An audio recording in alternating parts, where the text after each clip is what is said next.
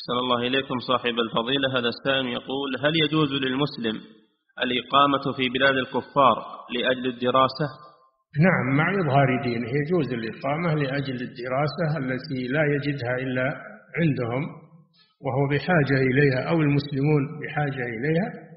يجوز بقدر الدراسة مع مع إظهار دينه والتمسك به ولا يذهب لبيوت اللهو والمسارح والمراقص يبتعد عن ولا يذهب إلى محلات الدعاية للكفر بل يكون على حذر منه يقتصر على دراسته ويقيم دينه يحافظ على الصلاة يحافظ على نفسه.